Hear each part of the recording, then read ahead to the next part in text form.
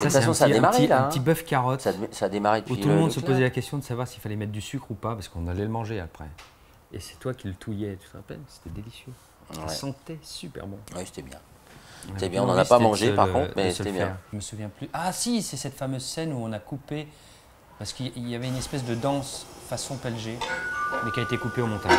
C'était trop brillant. Petit- Pourquoi tu me refiles pas un trousseau de clés une fois pour toutes Parce que je veux pas que tu te sentes chez toi. Oui, c'est ça. Ça sent bon. T'attends quelqu'un Qu'est-ce que tu veux, Fred? Boire un verre. Parler. Et boire encore un verre. Là, ça, c'est une scène qui, a- qui est- qui est justement intéressante parce qu'il vient chez moi. C'est normalement dans les séries policières, si on veut, c'est le boss reste à son lieu de travail, Ouais, il y a plein de hors-champs euh, cette série, c'est très agréable. mais ça raconte surtout, voilà, c'est ce qu'on apprend petit à petit dans, dans l'histoire, c'est une, une amitié euh, de longue date entre les deux personnages. Et, et voilà, c'est c'est une chose qu'on suppose pas au départ. Alors, alors. Toi aussi, tu pourrais lui parler si tu faisais un effort. Bon, tu me le sers ce verre ou quoi? Ben, un verre. Ils ont dû faire les premières euh, écoles de police ensemble. Sauf qu'ils n'avaient pas du tout le même. euh, il y avait un qui était un peu plus tête brûlée et l'autre, visiblement, qui était un petit peu plus sage, puisqu'il a réussi à grimper tous les échelons, à suivre les- la hiérarchie. Donc peut-être qu'il était le grand frère, un peu, et il prenait euh, sans arrêt, il ramassait l'autre dans le caniveau, quoi. Voilà. Jusqu'à ce que, évidemment, il y ait eu cet le, accident, le gros caniveau. le gros caniveau.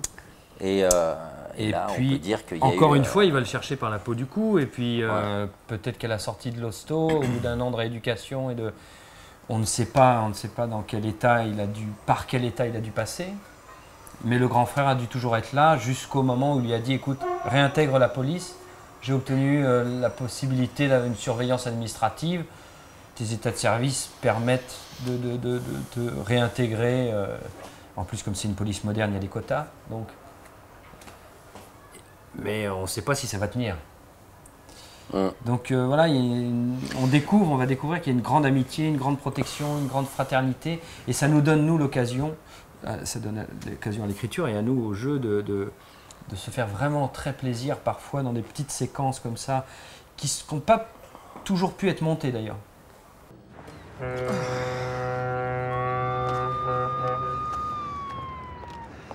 Vous êtes bien sur le répondeur de Fred Quin. Laissez votre message après le bip sonore. Bip J'ai retrouvé Michael Fonseca. Merci. Votre message sera transmis au capitaine Quin. Parole de répondeur.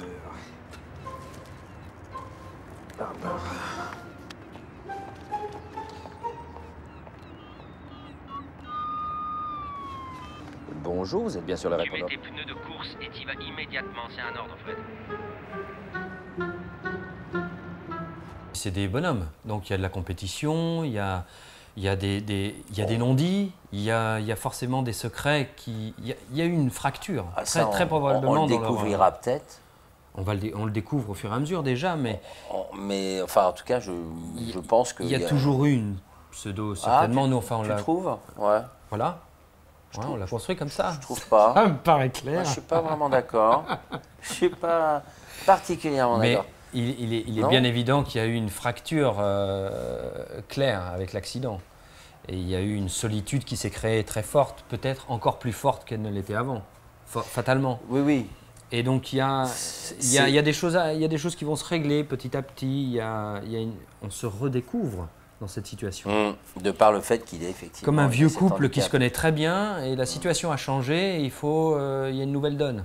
Il connaît, il connaît K, il sait à qui il a affaire aussi, il sait, euh, il sait justement euh, que son handicap, il va aussi euh, l'utiliser, hein, c'est-à-dire, voilà, et moi je le sais ça, donc je, contrecarre ces élans-là, et j'en profite aussi à ma manière, voilà, de m'installer dans son fauteuil.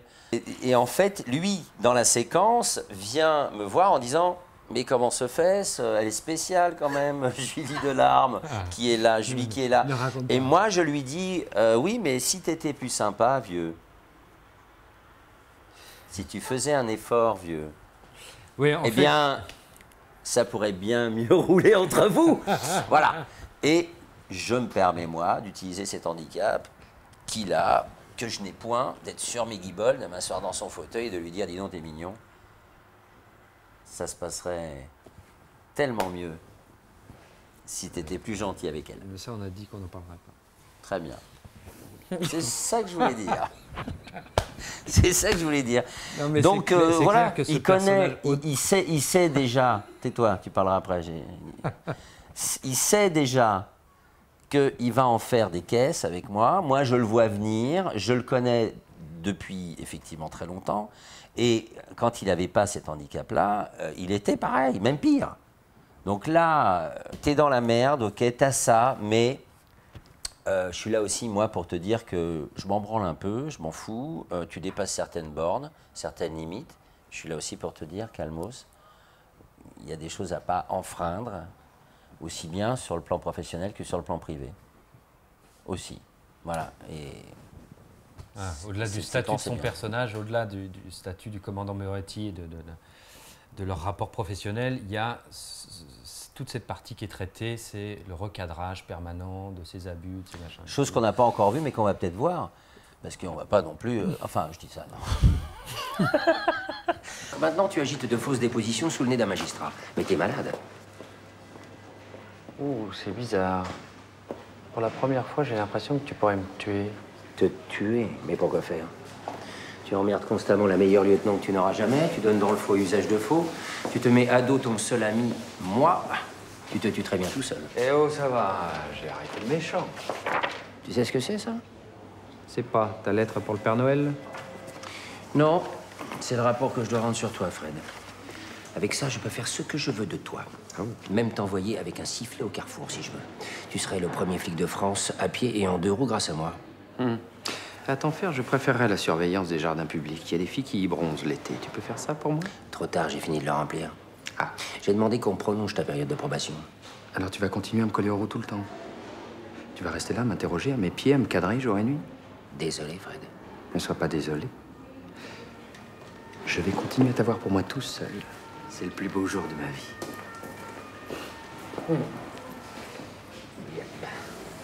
Euh, moi, je me souviens par exemple de- de- du capitaine de Starsky Hutch, il me faisait toujours, il me faisait rire le black là, parce qu'à chaque fois ils Il est- arrivaient, il est un faisaient peu des plus gros que moi, quand même. hein. Ouais. Il est un petit peu plus gros. Et je suis un un peu peu- plus fin, quand même. Ouais, lui. C'est gentil. Il a ce rôle-là, le rôle de, du capitaine, du commandant, euh, voilà, qui va euh, diriger les choses, recadrer. Il, il est là pour ça, il est là pour trier les enquêtes et il est là pour donner un contrepoint à toutes les enquêtes euh, qui vont se passer donc au sein du ESRPJ. Puis il faut dire qu'il ça, a c'est plein le premier statut. aussi. hein. Il n'a pas que le cas, il a d'autres choses à gérer. euh, voilà. Et pendant une séquence, Ce que allez me demander d'aller chercher finir un dossier. Laisse-moi être commandant, laisse-moi le finir. discuter, etc. Par contre, ce qui est inédit dans cette, série-là, c'est que justement, régulièrement dans la série, on, on- on suit le commandant Moretti hors champ, hors son statut de commandant au sein du commissariat. Euh, et donc on traite leur amitié, on traite euh, euh, qu'un qui, qui vit dans un lieu un peu improbable, il vient le retrouver. Donc ils ont des rendez-vous au restaurant réguliers, Mm. ils ont des rendez-vous chez lui, ils ont des rendez-vous comme ça qui, qui permettent de traiter autre chose que les enquêtes. Oui, d'aller au-delà, Et puis de traiter, d'aller euh, plus loin dans d'aller la au-delà du SRPJ, tout simplement, Ah. du lieu où euh, ça bosse et ses enquêtes policières. Et ça, moi, Voilà, j'ose vraiment dire que c'est inédit. Je ça vois ça ça rejoint ce rarement que- dans les autres séries. Ça euh, rejoint ce que je disais, ce- ce c'est-à-dire effectivement ces autres endroits qui permettent de faire vivre d'autres situations. On va monter une comédie musicale tous les deux. Mhm. Je suis sûr que ça va marcher. je suis- je suis Hein certain qu'on qu'on s'entend. On va faire ça. Dra, dra. Qu'on s'entendra pour la suite. Bon, ben voilà. Une autre question, peut-être? Alors, si vous avez de nouveaux interrogatoires ou une nouvelle confrontation, l'expert psychiatrique les assurera avec vous. Mais pourquoi? Je vais très bien, moi. J'ai pas besoin d'une psy. Par contre, euh, ton témoin, euh, lui, il souffre de troubles mentaux. hein, ce que l'expert a confirmé dès son premier entretien avec lui.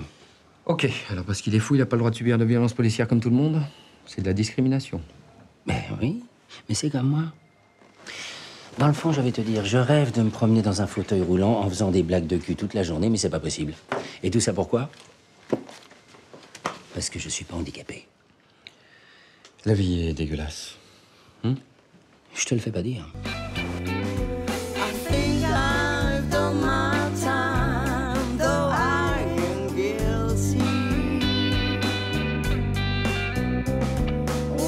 On n'a pas vu d'autres extraits. On, on fait la même chose, on change de place et on. on f- non,